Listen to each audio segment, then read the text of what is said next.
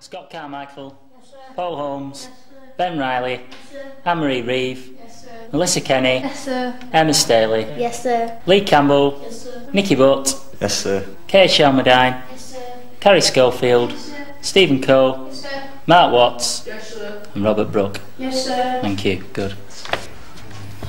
Do you miss school? Not really, no. no.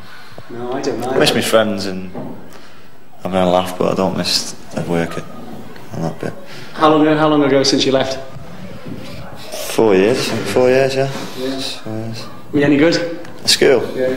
not the best, no. Any good at anything? Any? What was your best subject? Probably PE, I would have thought. Was he always a good player? Yeah, he was. He was. He was very good from the first year. Eh, He was exceptional in the sort of fourth and fifth year, but very good from the first year.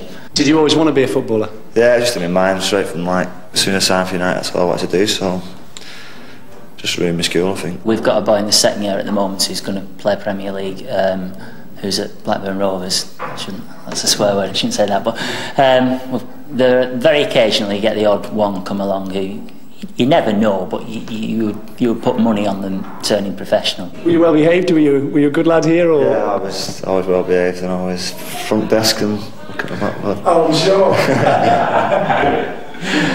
were, were you? Did you sort of like you know mind your manners and everything, or were you ever in trouble? I was like another normal lad, just thought I was a jack lad when I was at school, but realised that I wasn't when I left, so.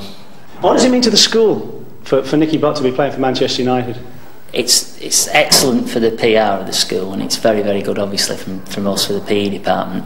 It's just the only the only minus sign you've got against it is that all the children in the school, because Nicky has done it now, want to want to copy him, and that's nice. But there's probably, like I say, two in the whole school who've got his ability, but there's 200 who think they have, you know. But then school is the place for dreams, and if Nicky can, you can. His picture takes pride of place at the Wright Robinson School on the outskirts of Manchester, and he was delighted to go back to say hello to old friends and cast an eye over young hopefuls. The first and second year boys were just as eager to impress. When you've got such a distinguished former pupil in your midst, you've got to put on the best show you can.